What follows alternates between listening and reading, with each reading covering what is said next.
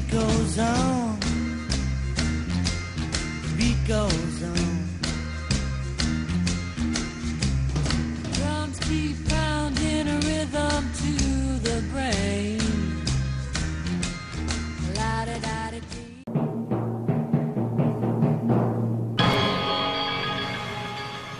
Ja, dat boek van mij is niet te tillen. Het is ietsje te dik geworden. 730 pagina's en, eh, en, en ook nog op LP-formaat. Dus Ja. ja. ja, 5 kilo, hè.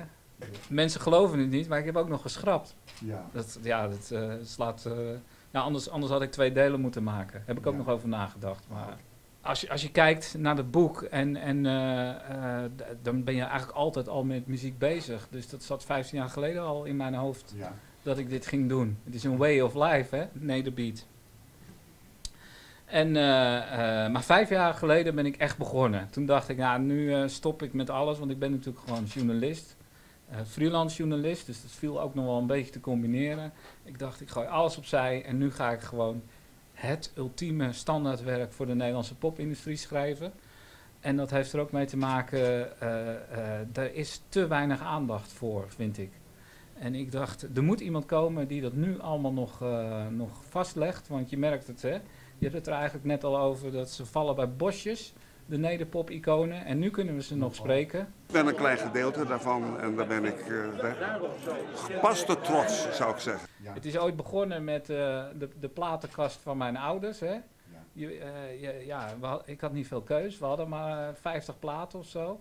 Maar daar zaten wel veel Nederlandse platen tussen. Het ziet er echt te gek uit. Een echte aanrader voor iedereen eh, volgens mij die is geïnteresseerd in eh, ja, wat er in ons kleine landje allemaal is gebeurd hè, in de loop der jaren van de, de popmuziek. Ik heb uitgerekend dat ik dus een kilo per jaar schrijf. Maar ik vind het ook leuk. Ik ben een soort archieftijger. eh, en ik vind het ook leuk om al die mensen dus te spreken. Dus het is eigenlijk een heel goed excuus om eigenlijk iedereen eh, eh, op te bellen en eh, ongevraagd langs te komen. Tenminste ongevraagd, maar in ieder geval langs te komen. En ze blijken dus dat al die mensen ook allerlei verhalen hebben die heel vaak nog niet eens opgeschreven zijn. En dan heb je ook nog het uitwerken, wat ik dus zelf doe. Je hebt ook andere mensen die laten dat uittikken, maar ik doe dat liever zelf, omdat je dan het gesprek nog een keer herbeleeft. Dus ja, het, heeft wel, het is echt wel een soort monnikenwerk geweest dit. En, maar ja, ik vond het leuk om te doen. Bepaalde mensen zeggen, ja, je hebt die en die tijdsperiode niet genoeg recht gedaan, want dat krijg je natuurlijk ook. Omdat het zo dik is, denken mensen ook van, nou, het is helemaal compleet En wat ik ongelooflijk leuk aan dit boek vind, is dat dit Nederlandse popgeschiedenis is, maar niet vanuit de muzikant. Maar er zijn nog zoveel verhalen te vertellen. Dat is echt ongelooflijk. Maar ik, ik, kijk, die, die, ik heb eh, 217 mensen gesproken. Dus er zijn ook een heleboel keren dat ik dan die lijst met mensen die ik graag wilde spreken weer opgeschoond heb. Want anders dan was er nu nog geen boek geweest. Dus ja, soms moet je keuzes maken. Bijvoorbeeld, ik weet van Irving Fire dat dat was omdat ik daar ook memo's van gezien heb eh, aan bijvoorbeeld Willem van Koten. En dat ze daar overleg over voeren. Eh, drie hits op rij gehad. eh, en, en eigenlijk nog nauwelijks geld hebben om van, je, van, van muziek je beroep te kunnen maken. Best wel schrijnend eigenlijk.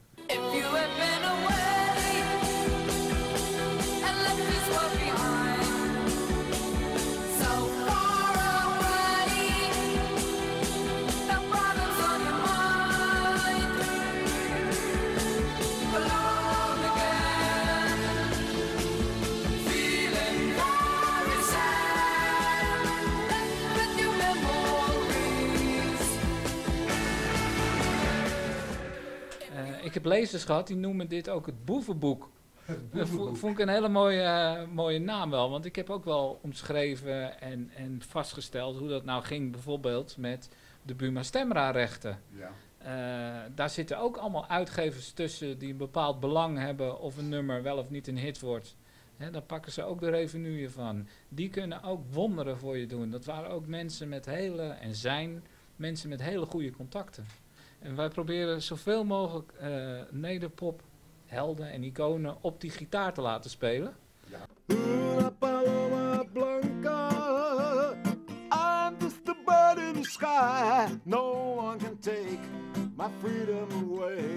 No one can take my freedom away.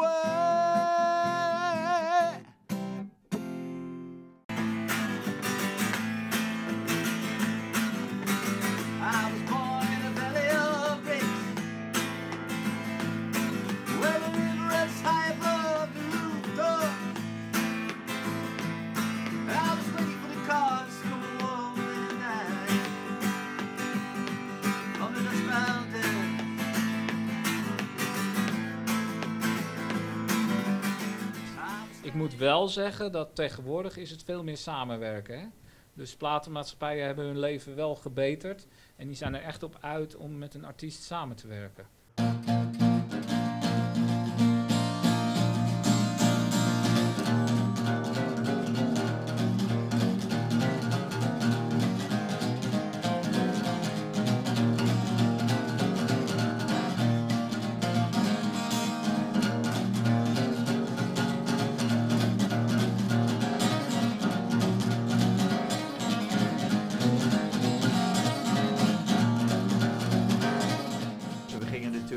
Strand eh, spelen met, met, met, met, met, Rudy, eh, eh, Rudy Rax, Rijn Rosenberg, die drumde. Weet je wel, zulke dingen. Maar dan op het strand en Ja Berghout met gitaar erbij en nog eentje. En, en toen noemde ik dacht, nou ja, we, we zijn de Beach Boys. We zo noemen ons de Beach Boys. Er waren nog geen Beach Boys uit Amerika. Heel toepasselijk. Ja, dat wist ik ook niet. Maar ik vond die naam niks. dus ja, achteraf denk je van, hé, wat stom eigenlijk. Nee hoor, maar... Maar we speelden natuurlijk een keer eh, op de Damlaan in Leidschendam, in dat theatertje. En eh, in het voorprogramma zat dus eh, de Sandico Skiffelgroep. Toen waren ze nog helemaal niet bekend. En toen daarna ook in Vronestein. En toen kwam die naar ook eh, Voorburg, toen kwam die naar me toe of die gitarist mocht hebben. Maar ja, ik zei, tuurlijk, ik, dat, is mijn, dat is momenteel eigenlijk wel mijn beroep, met optreden erbij natuurlijk. In een klein zaaltje in Den Haag klinkt gezang of wat daarvoor door moet gaan. Men is op zoek naar de Nederlandse Elvis Presley.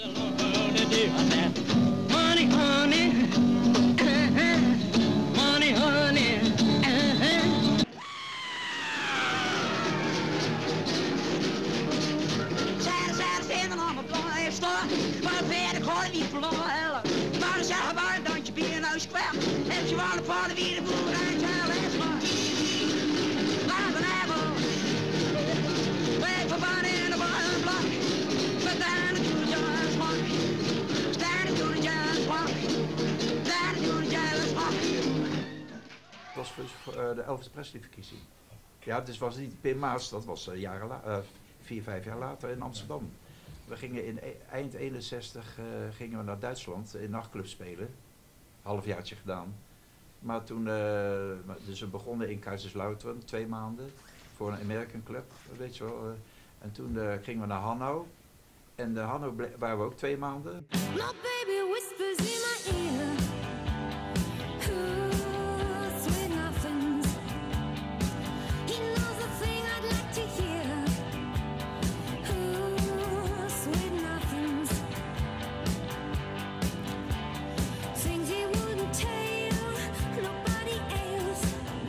Ik heb natuurlijk Koos, van Koos eh, klassieke opleiding gehad.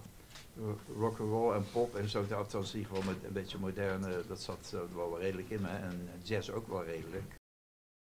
Eh, En toen zei hij na vier jaar of zo, drieënhalf jaar, dat hij les had van me. Ja, ik, zit, eh, ik heb een leuk bandje, ik zit in een bandje. Ik zei, hoe weten jullie dan? Nou, Johnny en de Jumping Jewels. Ja, het zal nog, nog geen Johnny Line of zo, of weet ik veel. Johnny and the Jumping Jewels, ja, ik had er nooit van gehoord natuurlijk, maar dat was ook wel onbekend. Maar toen hadden wij een dubbele boeking, eh, na, na, na een paar maanden later, in, in Leiden. We hadden voor de studenten gespeeld en dan hadden we super, super succes gehad. Maar ja, we hadden een dubbele, en dan konden we die vanaf die andere. Dus ik zei, nou, als je, misschien kunnen, willen jullie daar spelen. Dat hebben zij ook eh, enorm succes gehad daar ook mee. Weet je wel, dus, eh, nou, dat, dus ik heb hun eerste avond eigenlijk voor heel gezorgd.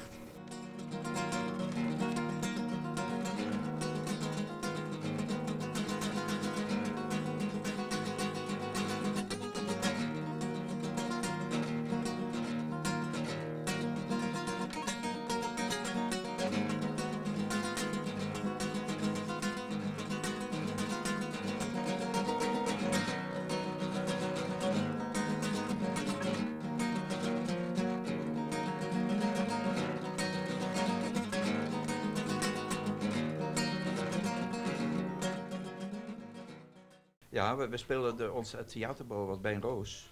Ik weet niet of je die kent hoor, maar eh, eh, dat was het theaterbureau Deventer Ja. bij Roos. Maar daar, daar hebben we veel ook in, eh, in Duitsland gespeeld. En, en, eh, maar meer een beetje een ABBA-achtige act. Omdat de Bea zat erbij en toen ook de, de vrouw van de toetsenman, eh, Frank Bianchi, die overleden is. Maar ik ben eh, met die album bezig, joh. Dat, eh, die vind ik steeds beter worden. Eh, weet je wel zo, omdat ja, daar werk ik dan al een aantal jaren aan. En, en er zijn nog een paar nummers bijgekomen, maar... eh, eh, maar denk nou niet dat het echt zo- zoals vroeger is.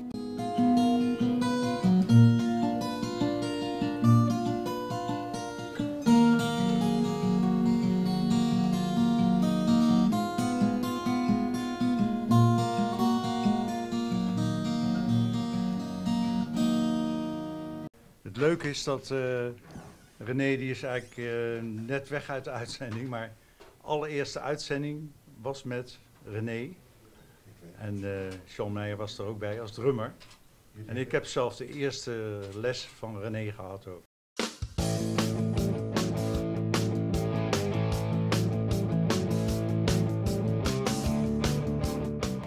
En de doorbraak is gekomen. We zijn natuurlijk al in 81 begonnen met eh, zelfs al een concert met eh, Dave Berry en de Cruisers met zijn oude band nog.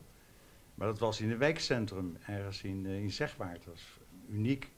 De kinderen zaten al, en, van de ouders, die zaten allemaal op de eerste rij. Ik heb er nog foto's van. Ja, heel ongedwongen allemaal. Heel erg leuk. En toen zijn we in eh 85 begonnen in Locomotion. En dat was, nou ja, dat was gelijk al een succes. Ik ben met de eigenaar van Locomotion, Peter Zij, gaan praten. En eigenlijk in navolging van Haagse Biednacht. En de tweede keer hadden we gelijk al de Fortunes. Nou, dat was uniek toen, want die traden helemaal nergens meer op in Nederland. En ik eh, kan me goed herinneren dat de mensen stonden te huilen bij het podium. Die herinneringen hadden aan de Fortunes. Mooi is dat. dat was, eh, het was echt, echt, echt geweldig. En nog in oude bezetting ook, eh, de Fortunes. Ja, we hebben eigenlijk zo ontzettend veel bands gehad. Veel Engelse bands.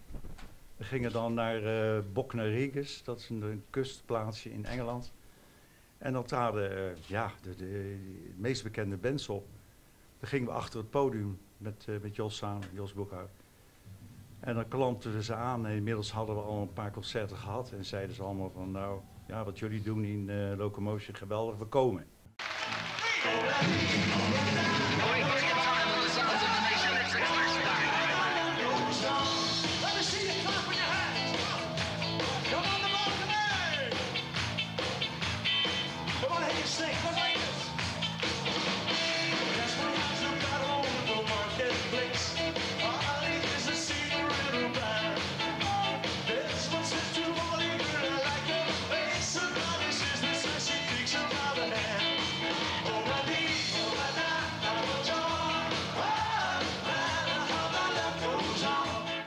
Dus Johnny Line en Jumpy Jules, daar ben ik echt eh, drie jaar mee bezig geweest. Om die weer bij elkaar te krijgen.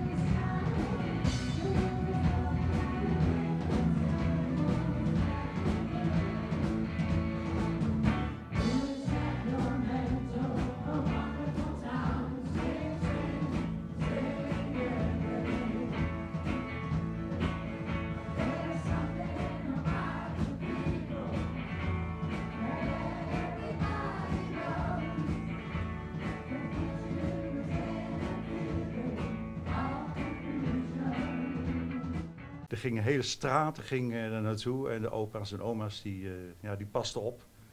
eh, op de kinderen en eh, Ja. ja, de dertigers die gingen allemaal eh, naar eh, de Sound of 60s. Nog even als eh, afsluiting, wat zijn jouw herinneringen aan Klaasje van der Wouwen? Ja, ik, ik, met Klaas heb ik altijd zo dan, dan als we elkaar weer tegenkwamen, dan was het altijd van, god, dan heb je mijn broer. Dat zei René net in de gang ook nog. Hij zei, hij zei, ja jullie zouden broers kunnen zijn. Ja.